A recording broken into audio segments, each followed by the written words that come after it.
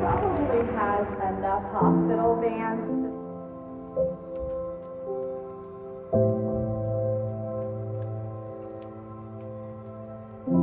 all the long hours you guys are going to be here excited.